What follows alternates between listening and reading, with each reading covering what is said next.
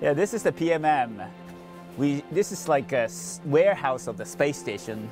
We have all kinds of equipment, uh, experiments, uh, clothing, food. And here at the end cone, we gather trash.